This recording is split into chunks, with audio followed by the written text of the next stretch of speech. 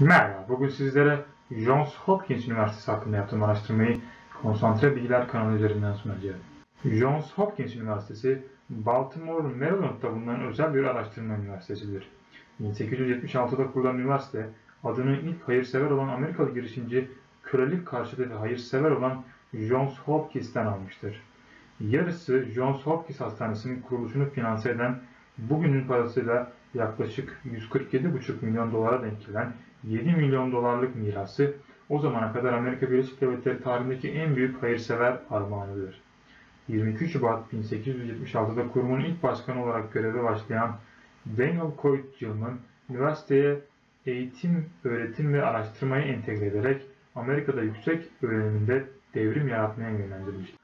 Almanya'nın tarihi Heidelberg Üniversitesi'nden bir yüksek lisans okulu konseptini benimseyen Johns Hopkins Üniversitesi, Amerika Birleşik Devletleri'ndeki ilk araştırma üniversitesi olarak kabul edilir. Üniversite, birkaç on yıl boyunca Amerika üniversitelerinin yıllık araştırma ve geliştirme harcamalarına yöneltmiştir.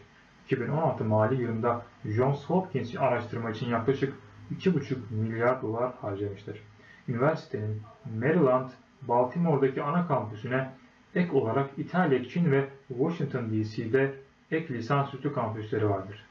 Johns Hopkins, Maryland ve Washington DC'deki kampüslerde İtalya ve Çin'de uluslararası merkezlerde 10 bölüm halinde organize edilmiştir.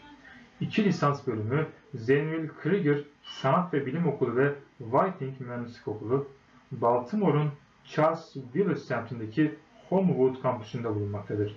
Tıp Fakültesi Hemşirelik Okulu, Bloomberg Halk Sağlık Okulu ve Johns Hopkins Çocuk Merkezi Doğu Baltimore'daki Tıp Kumları kampüsünde bulunmaktadır. Üniversite ayrıca Peabody Enstitüsü, Uygulamalı Fizik Laboratuvarı, Paul H. Nitz İleri Uluslararası Çalışmalar Okulu, Eğitim Okulu, Kerry İşletme Okulu ve diğer çeşitli tesislerden oluşmaktadır. Johns Hopkins, Amerikan Üniversiteler Birliği'nin kurucu üyesiydi. 2019 itibariyle Johns Hopkins'e bağlı 39 Nobel ödülü sahibi ve bir Fields madalyası olduğu bilinmektedir.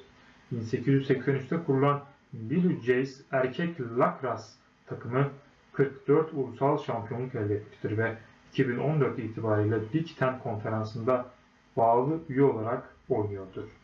Evet arkadaşlar siz de Konsantre Bilgiler kanalında sunum yapmak veya içerik hazırlamak isterseniz info.konsantrebilgiler.com adresine mail atarak irtibata geçin ve bildiklerinizi diğer insanlarla paylaşarak bilgelik ağacını sulayın.